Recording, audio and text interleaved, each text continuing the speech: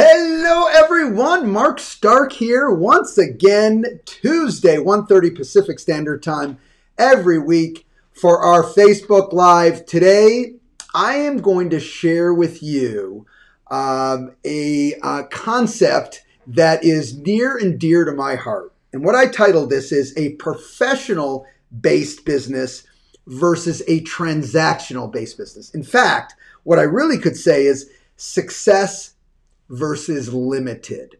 All right. Now, here's here's what I'm going to do today. I've got a lot of information that I'm going to throw at you today. I'm going to give you things to think about. Um, so, you know, um, when you're running a business, there's a lot that goes into it. That everything I'm going to cover today, I want you to know is an ingredient that I see firsthand that is very important in running what I believe not only a successful real estate business, but a successful business in general. All right, so let's jump in. Certainly offline, if you have more questions, uh, we'll be able to handle that uh, at another time, most likely because you may have a bunch of questions. All right. All right, so as always, I always start off with mindset and thought process because if that's in the wrong place, you can't make good decisions.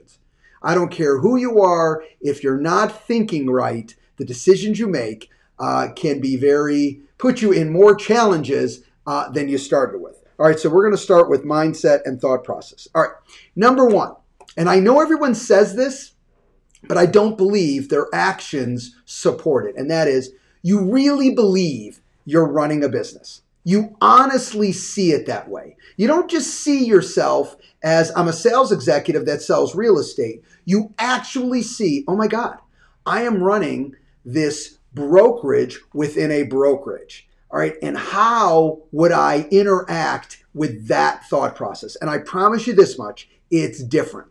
When you think like a sales executive in the business, all right, you think more transactionally. When you're running a business, all right, you think more, for lack of a better word, more professionally. We're going to cover some of these aspects in here.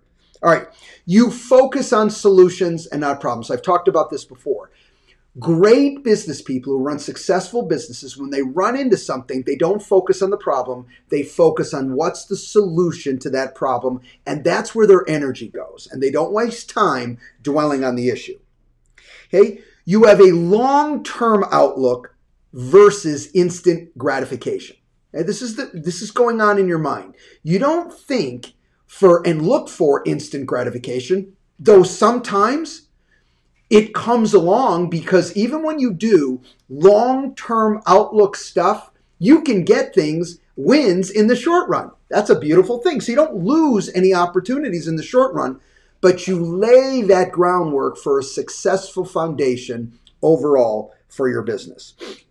You forward pace your clients and your overall business. So ultimately, let me say it this way you see issues you see challenges that you've run into and you implement things that lays the groundwork so those things don't happen again.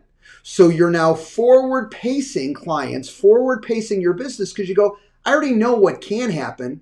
I've built it in because I've really thought about it. So I just don't keep running into the same problem, the same problem. And when people do that, they go to the one I just talked about and then they dwell on the same problem and the same problem. And it's kind of this circle jerk that does not move your business forward.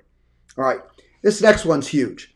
You do not mix personal financials with business financials. If you don't have a separate business financial where you can look at your actual numbers, and listen, there's difference between your financials, your business financials, and all the write offs you're allowed uh, uh, through, um, you know, sitting down with your CPA. Don't get those confused. You may have other write offs. Sit down with your CPA. Certainly keep your receipts, all that type of stuff. But when you're looking at your core business, you need to have your business financials and be able to look at those financials. Next one, you've heard it a thousand times. You know your numbers. You honestly know your numbers. I cannot tell you how many questions or times that I've asked sales executives about their numbers and they just don't know them offhand our business is not that complicated. There's not that many stats that you really need to keep in your mind. And if you know those numbers, I promise you, Okay, it's another ingredient that can make your business more successful than it would be uh, without it. And this is big and it also ties into the numbers. You may have heard of KPIs, key performance indicators. And what's so important with these key performance indicators is, you know, there's a lot of uh, important numbers. All right. However, what I advise is you focus on the urgent few stats, not the important many. There are so many numbers that you can really interact with, and it can get overwhelming. The question I recommend you ask yourself is, you know, what are the numbers that I really need to know, okay, that moves my business forward? And when you get to, when you really focus on that, you'll realize that there's fewer numbers that really moves your business forward versus okay, looking at so many numbers that truthfully, like I said, it gets overwhelming and it almost becomes gibberish. All right. So the urgent few, not the important many, and overwhelm yourself. All right. This is an interesting one. Your attitude and actions suggest you report to somebody other than you. Okay, so hear me out here.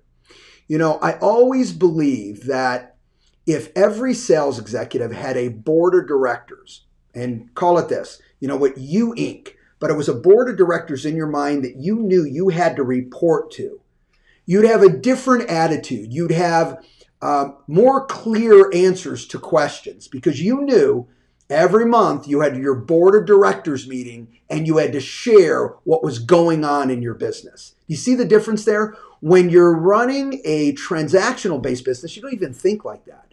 But when you're running a business and you have this idea that I report to this U Inc. Uh, board of directors, okay, you're more sensitive that, you know what, I am running a brokerage within a brokerage. I'm actually running a business. And you are not a know it all. Okay, you don't come off as a know it all.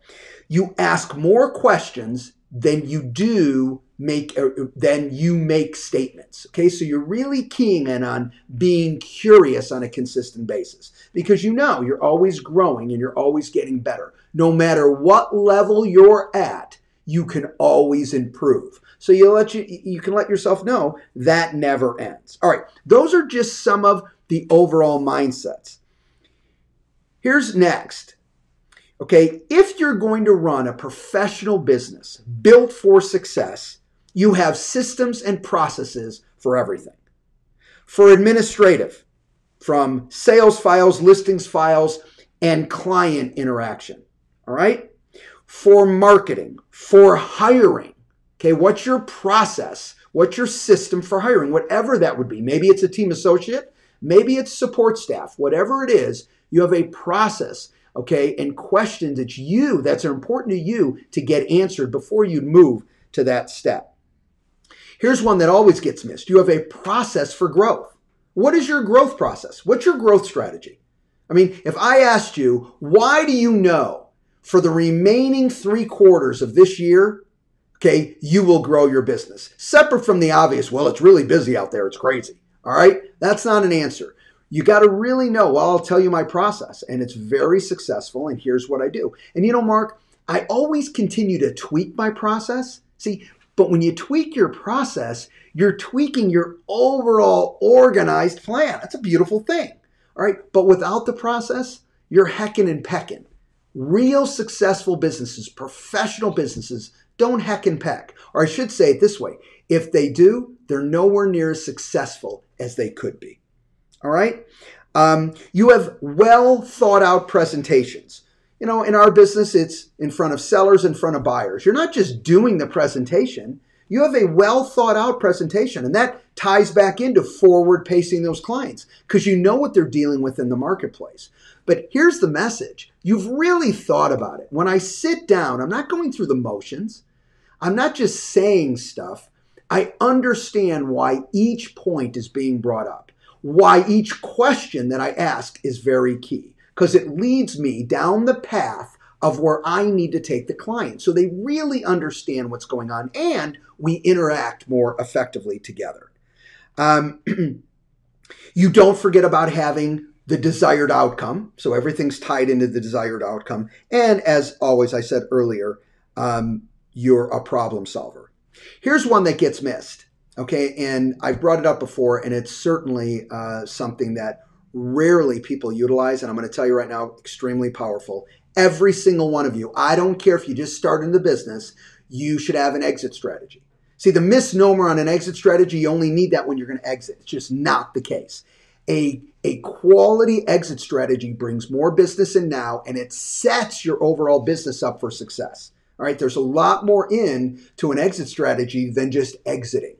It asks very key questions that you have to answer, which helps you much, I mean, so much in the short run, as well as it lays the groundwork for long term success. All right.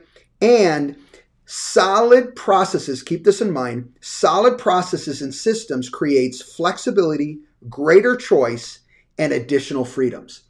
You know, when you have proper systems and proper processes, you will be more successful.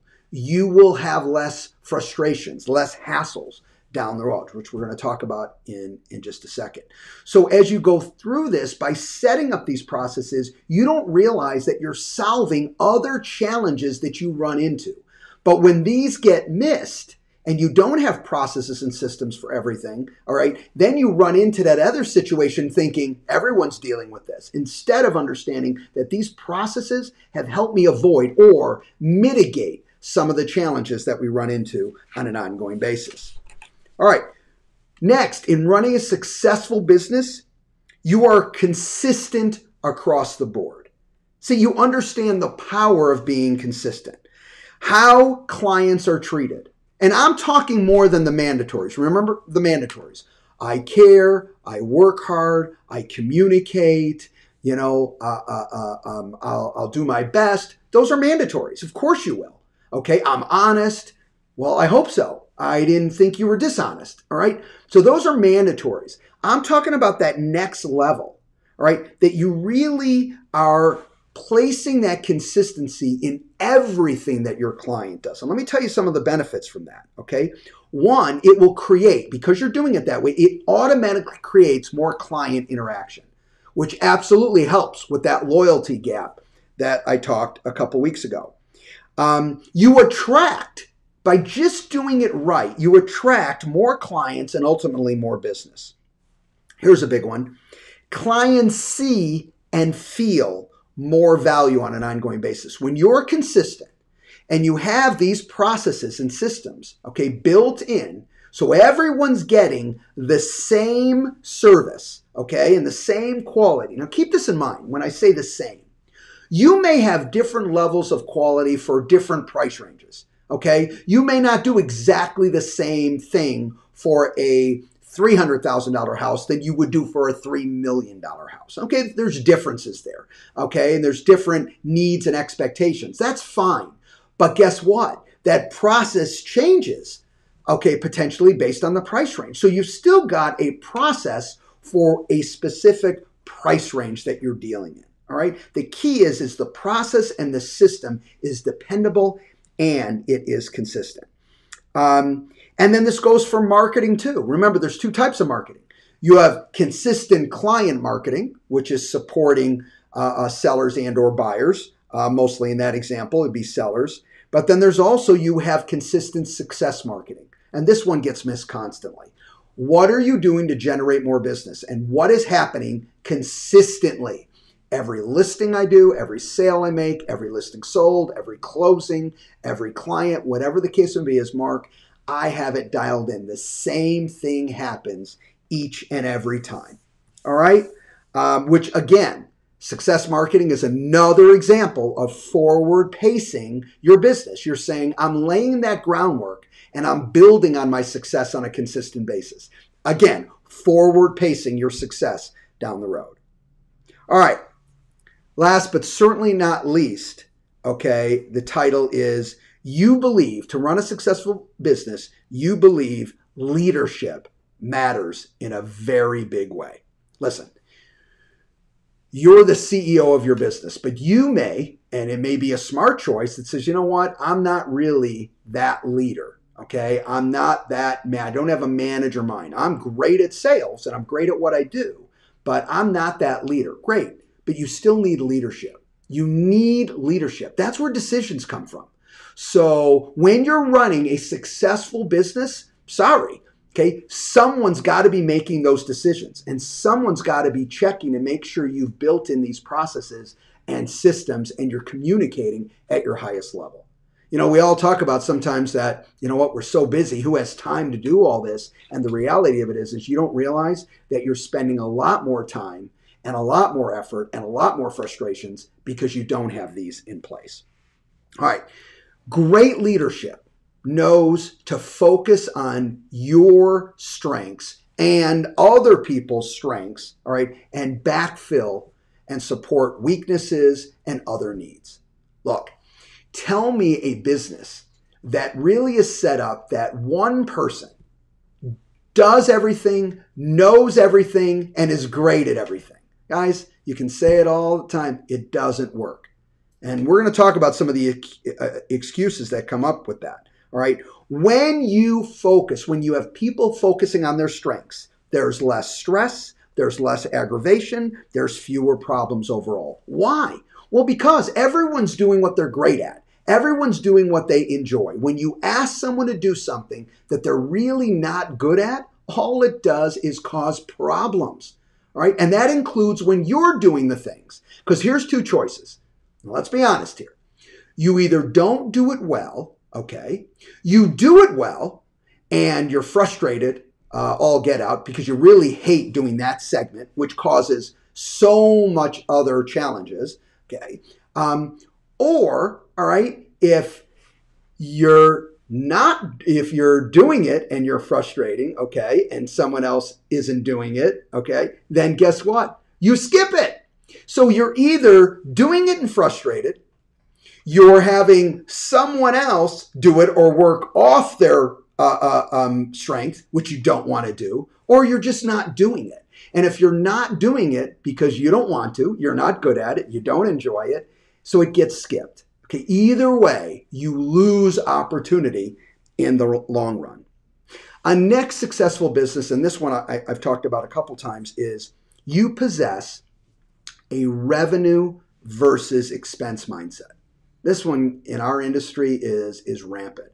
And the few that really get this, um, I will tell you, uh, without a doubt, will have will not only make more money but have success in a much bigger way.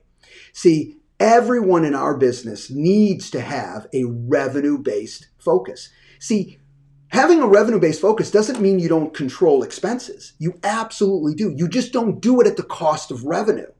And you don't make decisions okay, with expense in mind. You make decisions with revenue in mind and then control the expense. The revenue piece comes first. Example I tell you, you need to hire, let's say, an assistant. And the first thing on your mind is, I can't afford an assistant today. All right. I don't want to spend, you know, 30 grand, 40 grand, whatever it is to hire an assistant full time to do it. I just can't afford it. And or I can't afford it. I just don't want to throw out that money. Okay. That is coming from an expense-based thought process versus a revenue-based thought process. The revenue-based thought process would ask this question. How much more business do I need to do to afford X? And how will this additional person help me do more business? Do you see where that leads you in such a different direction than I just can't afford it? or I don't want to invest in it. All right. That's like somebody saying to you, give me, and again, silly example, but give me 30,000, I'll give you 100,000. And you go, no way, I would never give up 30,000. I can't afford to give up 30,000. All right. Because you're not taking into account that the revenue will be the number one driver of your business and you work to control those expenses. All right. Growth strategy, like this or not, you are either growing or you're contracting. All right. I know everyone would love this to exist. All right. I don't need to make more and I don't want to make less. All right. I just want to stay right here. Well, guess what? Welcome to the club. Everyone wants to many times stay there. Some people want to make more, of course. In fact, many do, but it's not the point. If you are someone who wants to stay stable, it doesn't exist. You're either doing this or you're doing this. I will tell you what does matter though. The outcome that you want from your business is really all that matters. All right? Because growth comes in more forms than money. You can have different growth within your life that will inspire and be successful for you. You know what? Running a successful business doesn't only mean it's generating more dollars. Maybe it's generating dollars and freedom. Maybe it's generating dollars and more time with family. Maybe it's generating dollars, okay, and giving you the opportunity to expand your horizons, to meet people you would never have an opportunity to meet. There's different forms of growth. It's not always dollars, okay? But either way, you're either growing or you're contracting, all right? There is no. So, what you really want to make sure is it's not like I don't want to grow anymore. I'm not against growth. What you want to make sure is I have clarity on what I really want for my business, for my life, for me personally. Once you have clarity on that, now you can orchestrate and tweak your business to support what you're trying to accomplish. All right? Um, you do not sacrifice growth to hide other weaknesses or make excuses of why you don't want to do things. You solve the challenge you're trying to solve. I don't want growth because I want to spend more time with my family. Wrong. No. What you need to say is wait a minute. I don't want to sacrifice growth. I want to spend more time with my family. Okay. And I don't ever want to miss a baseball game for my daughter or son. Beautiful. Focus on that. But don't use growth as your excuse. Get clarity on exactly what you're trying to accomplish, what's the outcome, and then we work on that outcome. That's the key in leadership. All right. Um, when you have great leadership, you have less overall uh, liability. All right. And that comes into what I've already covered. Process systems also reduce your overall liability. Um, we talked about creating uh, uh, more freedom and balance, but here's another one. You know, and this I learned from one of my mentors now, probably going on 15 years ago, Kurt Anderson. And what Kurt helped me with is this concept of a perfect day. You know, when I was working just in the Las Vegas market and running, okay, uh, uh, the, the company just in one market, I was buried. I was buried and I wanted to grow outside. I wanted to grow to other markets, but I couldn't even get above water in one market. So, Mark, how am I going to grow out? I can't even breathe now and having his leadership to help me see that one, you're always the problem. I was the problem. It was the way that I was looking at the business. It was the way I was getting caught up in the weeds and not focusing on what I really want.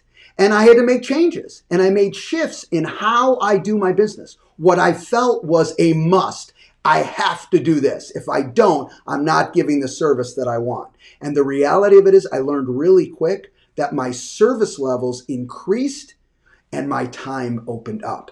Even though, okay, I was taking on more responsibility, moving to additional markets, additional states. Now I know, okay, that growth can be limitless as long as you understand what are you trying to accomplish? What is the company trying to accomplish? What do you want to do based on your strengths, Mark? And then you can bleed that into whatever plan of attack that you want to. Very different than the way I was thinking 15 plus years ago. All right. Um, last point is look, when you when you're running a successful business, and this will be a great litmus, litmus test for you, you feel inspired. Okay overall, you are inspired to come in each day. Not only are you inspired, but it's not work. You're really enjoying it. Doesn't matter the challenges and frustrations. We all have challenges. We all have frustrations every single day, certainly in business.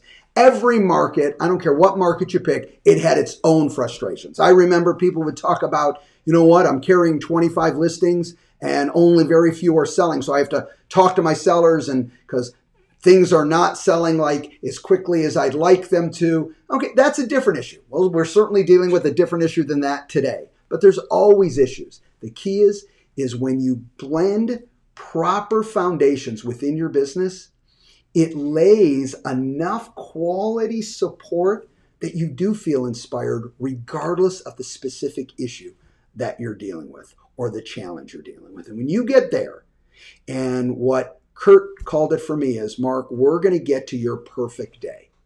So you get to do on a day to day basis exactly what you want to do. And once you get there, it won't be work. You won't have these challenges, and you can now move in a direction that's certainly more enjoyable and more inspiring. All right.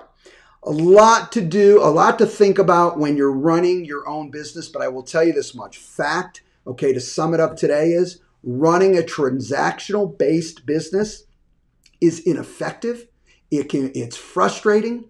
It does this and I promise you, you'll run into the same problems again and again and again, even as the market adjusts. When you run a professional based business built for the long run, you will have more success, okay, greater success for a much longer period of time, and you'll be happier doing it. Hopefully, today was helpful for you uh, and the information was helpful. If you liked it uh, or if you thought it was valuable, like it, share, and of course, follow. We'll see everybody next week uh, for uh, my Facebook Live. Again, always 1.30 Pacific Standard Time. Thanks, everybody. Bye-bye.